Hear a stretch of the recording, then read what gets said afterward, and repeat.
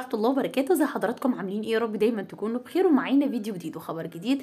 بس يا ريت قبل ما نبدأ خبرنا متنساش نعمل like نشترك في القناة.